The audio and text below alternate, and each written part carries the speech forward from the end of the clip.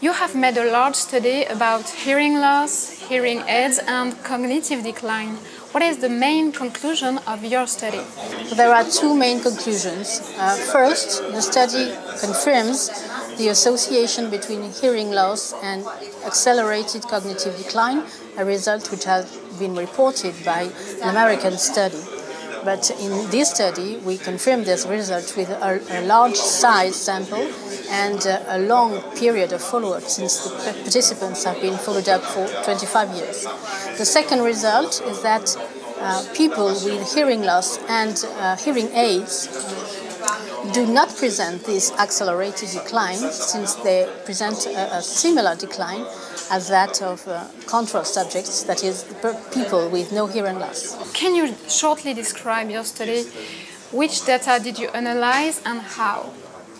The data uh, were gathered from the PAQUID study. The PAQUID study is a French epidemiologic study, a population-based study, which is quite well known in the field of geriatrics. The participants were people aged 65 and older, 3,620 participants who have been followed for 25 years.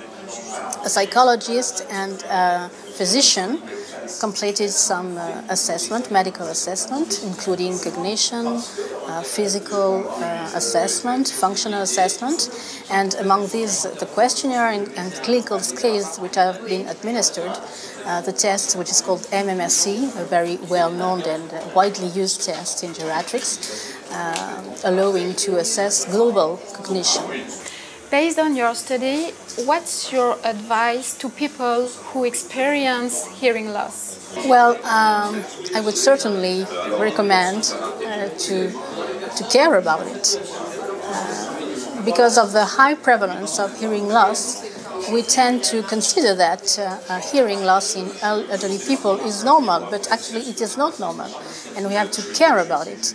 And I really think that uh, if our societies are very implicated, involved in promoting uh, strategies for successful aging, along with physical exercise, uh, cognitive training, uh, rehabilitation, auditory re rehabilitation programs have to be uh, promoted in order to, uh, to uh, enhance successful aging. You can find out more about hearing loss and hearing aids on the world's leading website on hearing and hearing loss, hearit.org.